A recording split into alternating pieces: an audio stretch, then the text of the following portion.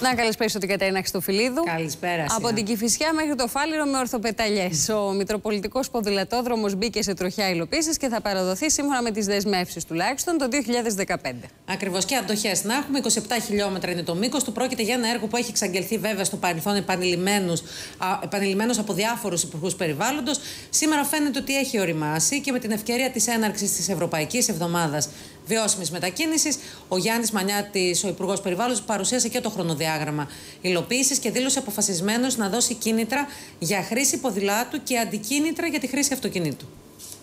Μπορεί η Αθήνα να μην καταφέρει ποτέ να μοιάσει στην Ισπανική πόλη Ρίβας, η οποία κέρδισε πανευρωπαϊκό βραβείο βιώσιμης κινητικότητας χάρη στις μεγάλες κλίμακα αστικέ παρεμβάσεις.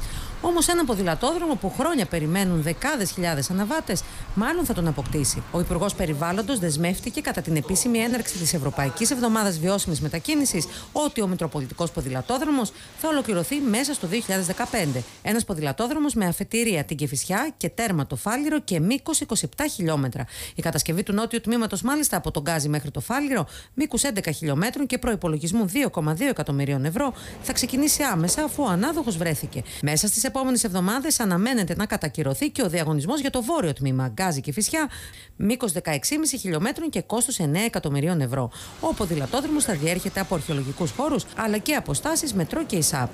Μιλούμε λοιπόν συνολικά για τον Μητροπολιτικό ε, ποδηλατόδρομο της Αθήνας συνολικού μήκους 27 χιλιόμετρων πάνω στον οποίο θα κουμπώσουν με τη μορφή ΤΑΦ τα τοπικά δίκτυα ποδηλατοδρόμων από όλους τους δήμους από τους οποίους διέρχεται. Γιατί στόχος μας ήταν από τη μια να διευκολύνουμε τη μετακίνηση με ποδήλατο, από την άλλη να διευκολύνουμε και την μετεπιβίβαση σε μέσο σταθερής τροχιάς, δηλαδή στον ΙΣΑΠ και το μετρό.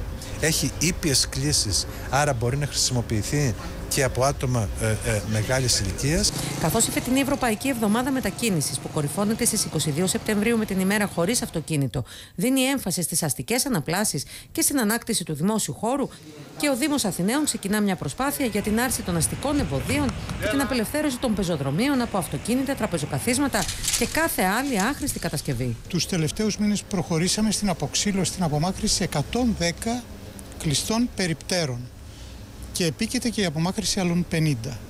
Από εκεί και πέρα κάνουμε την καταγραφή και όλων των σταθερών κατασκευών, ακόμα και στήλους και κολόνες που δεν εξυπηρετούν τίποτα και καταλαμβάνουν χώρο.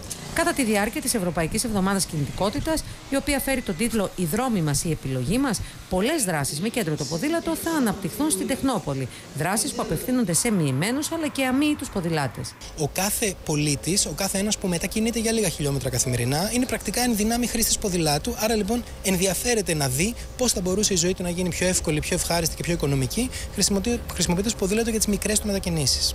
Όσοι μάλιστα ενδιαφέρονται και για το αποτύπωμά τους στο περιβάλλον, μπορούν δωρεάν να κατεβάσουν την εφαρμογή Bag Your City, η οποία αθρίζει τα χιλιόμετρα που γίνονται με ποδήλατο και υπολογίζει ακριβώς την εξοικονόμηση ενέργειας, αλλά και την αποφυγή έκκλησης ρήπων.